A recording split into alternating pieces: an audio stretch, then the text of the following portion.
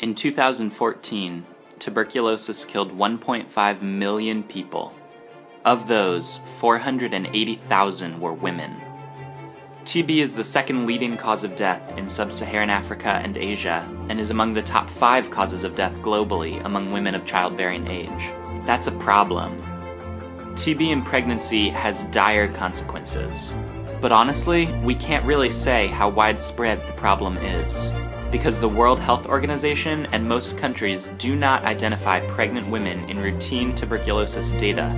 That's a problem too. Health workers may not readily suspect TB in a pregnant woman because signs and symptoms can mirror typical complaints, fatigue, nausea, and the like. But the disease can have dramatic consequences both for the mother and for the newborn. When a mother has TB, she is twice as likely to deliver a premature or underweight baby, and the baby can be born with congenital TB.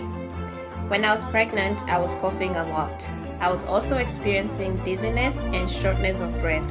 It was so hard to breathe, so when I got tested and was found to have TB, I immediately started taking medication. I was very concerned. I thought I was going to die from this disease, and I was concerned that the babies would die too. If I died, they were going to die with me.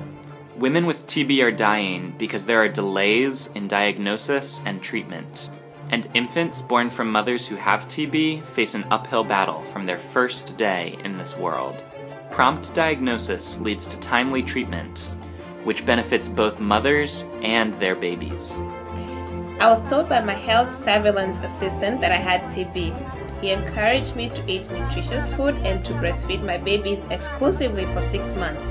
The babies were not given any medication, but I was counseled to be careful and to observe coughing etiquette, especially when I was around them, to avoid infecting them with the disease.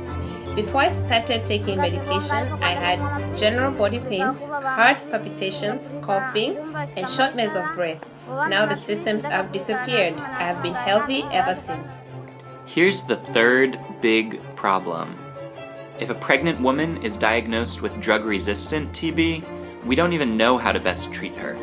Health workers have few options for pregnant women with drug resistant TB. They can delay treatment to the woman until after the pregnancy, offer to terminate the pregnancy and begin treatment immediately, or continue treatment without knowing all of its effects. None of these are good options, and the needed research isn't even on the horizon. We must ensure women are appropriately diagnosed and treated promptly in pregnancy. We must advocate for key research to inform how to treat pregnant women with drug resistant TB. We must begin to implement programs that reliably collect the right data on TB in pregnancy. The birth was straightforward. I gave birth to healthy twin boys because I was eating nutritious food during my pregnancy. They are growing well. One of them is this one here. At the health facility, I was told that TB can be cured as long as I take medication for the whole duration.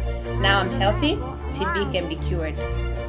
Listen, if it's true that we measure what we value, then we are doing poorly for women with tuberculosis. We can do better, and we must do better.